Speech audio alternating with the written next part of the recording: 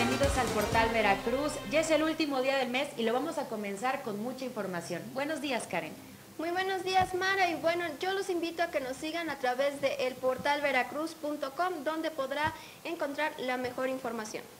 Y nos vamos derecho con todo lo relevante en el estado de Veracruz. Les recuerdo que en la edición impresa de El Portal Veracruz podemos encontrar notas como eh, padres de familia y alumnos de Martínez de la Torre y la región marcharon para manifestarse en contra del paro magisterial.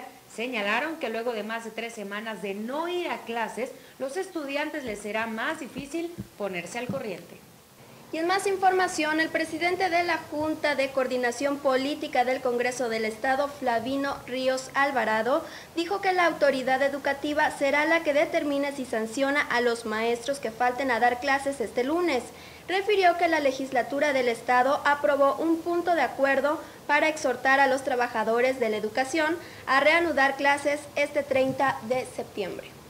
Debido a que la delegación norte del IMSS carece de presupuesto para contratar el servicio subrogado con el Laboratorio Medicina Nuclear de Imagenología Diagnóstica, decenas de enfermos padecen la desatención médica.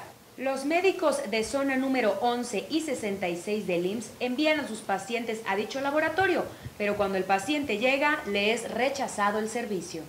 Y en otra información, el obispo de Veracruz, Luis Felipe Gallardo Martín del Campo, dijo que solo 5 de 30 jóvenes que ingresan al seminario para consagrar su vida a Dios continuarán sus estudios.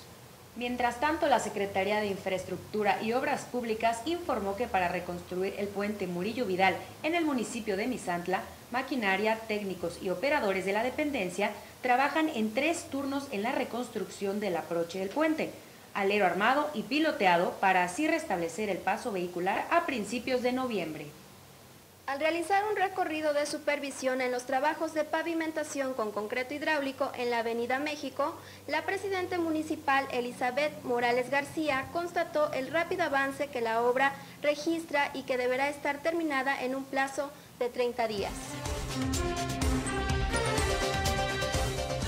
Así es, y ya les tengo preparado el reporte del estado del tiempo para la entidad veracruzana y comenzando en la zona norte, en Pánuco, 33 grados la máxima, 22 grados la mínima, se espera que esté despejado. En Jalapa, la capital del estado, 22 grados la máxima, 15 grados la mínima, se espera que esté despejado, pero la probabilidad de lluvias está latente. En Orizaba, 26 grados la máxima, 14 grados la mínima, se espera que esté nublado y con lluvias. Y en Coatzacoalcos 30 grados la máxima, 26 grados la mínima y se espera que esté despejado.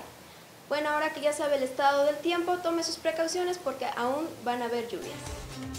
Pues hemos llegado al final de este pequeño noticiario. Yo les recuerdo los puntos de contacto que estarán apareciendo en sus pantallas. Nos vemos mañana a partir de las 10 de la mañana. Que tengan un muy bonito día. Mi nombre es Mara Durón. Y mi nombre es Karen Bonilla y los esperamos mañana con más información.